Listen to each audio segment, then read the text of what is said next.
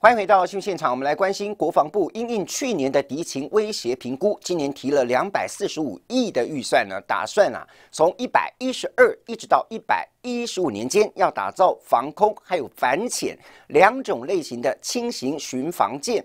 日前呢，闯关立法院备受立委们的关注，国防部长邱国正。他表示，中国大陆光是主战舰就有五百多艘，但是呢，我们小国有小国的做法，以协同作战作为概念来应用海军的作战策略。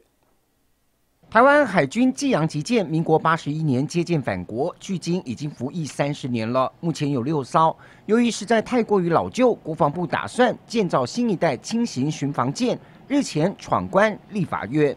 现在敌情威胁只有一些小的变动，作战需求并没有太大的不同，而你们就这样子改了，当然是因为中科院做不出来，不符合你的需求。但是我要告诉你，原来你规划的这个四千五百吨，它是以防空跟反潜为主，现在轻型巡防舰又增加个雄三反舰飞弹，那它原有的。防空反潜的性能需求、作战需求还存不存在？当初四千五百吨的那个作战需求是在一百零六年的时候做的，一百零六年做的威胁评估跟我们在去年做的威胁评估其实差别最大的。就现在中共在灰色地带冲突，他定定期的派就是固定。我只问你，防空、防空反潜跟反舰这三个需求怎么样搭配？你必须面对问题，找出答案。有缺失怎么弥补？这才是对海军负责任，好不好？请邱部长证实这个问题。参谋长蒋正国的回应似乎得不到立委认同。吴思怀指职四千五百吨巡防舰中科院做不出来，才大舰改小舰。而在国防部所提供的专案报告资料中显示，因应台湾周边海域的环境，针对水深适合反潜作战海域，目前以反潜型轻型巡防舰来强化水面作战的能力。而另外，也要筹建防空型轻型巡防舰来支援空中作战能力。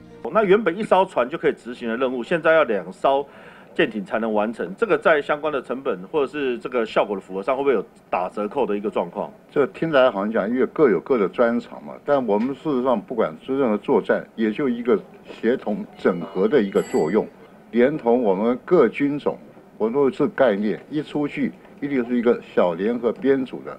来执行他任务的。根据国防部的计划，一百一十二年到一百一十五年间，要打造反潜以及防空各一艘。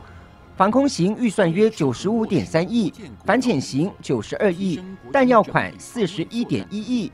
载台建造、整体后勤以及采购作业等十六点八亿，总计要花费两百四十五亿四千九百一十六万两千元。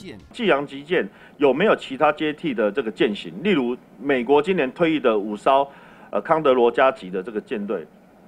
我们目前没有这规划，没有这整个的这个新旧的这个落差跟对比哈，其实在性能上哦还有这个设备上是有一定的落差。那这个部分是怎么样来去？汰旧换新，敌大我小，敌强我弱，是不争的事实。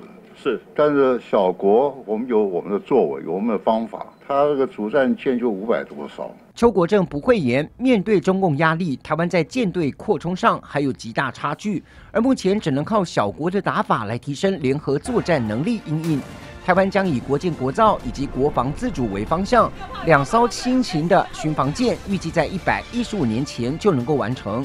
并且将旧济阳级舰淘汰，来强化海军的整体作战能力。